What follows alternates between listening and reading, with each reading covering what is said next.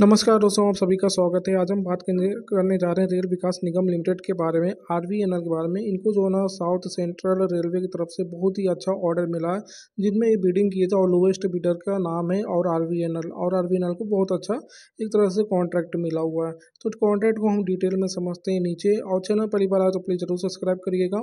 जिससे तो central central railway की तरफ़ से ऑर्डर मिला डोमेस्टिक एंटिटी है मतलब इंडिया का ऑर्डर है इसलिए डोमेस्टिक है। फिर हमें इनको करना क्या? तो डबल ट्रैक सिस्टम में इनको ना बैठाना है।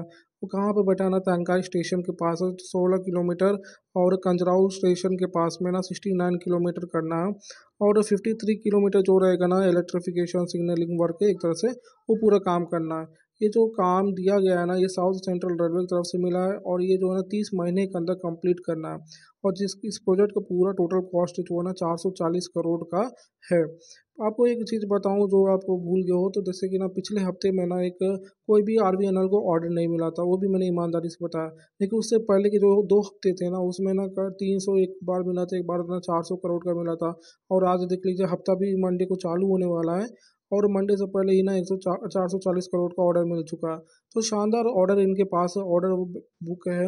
अभी सिर्फ़ क्या है कि रेलवे के स्टॉक से नहीं भाग रहे हैं। तो रेलवे के स्टॉक से साफ़ साफ़ जब नरेंद्र मोदी खुद बोल दिए हैं कि जैसे ही मैं जीतूँगा, उसके बाद में एक शानदार ऑर्डर सभी रेलवे सेक्टर में देखने को मिलेंगे। तो वही बात मैं बोल रहा हूँ, अभी जो है ना एक तरह से डिस्काउंट चल रहे हैं वॉर की वजह से भी थोड़ा थोड़ा दबाव देखने को मिल रहा है। मगर आपके पास एक जो मौका है ना, वो यही टाइम का है कि बाई इन द डीप का स्ट्रेटजी यूज़ करें और जो अच्छे अच्छे स्टॉक्स और रेलवे में से उनको खास करके उठाएँ। इसमें से जो है ना आर बी एन एल तो भाई सबसे बड़ा है क्योंकि इनको ना कंटिन्यू में देख रहा हूँ ऑर्डर मिलते जा रहा है। तो एक शानदार ऑर्डर इनको पास है और इनको फाइनेंस कौन करती है? आई आर एफ़ सी है। तो ये बहुत ही अच्छे स्टॉक्स देखने के लिए मिल सकते हैं आगे के टाइम पे। बाईस साल का कोई रिकमेंडेशन नहीं है। जय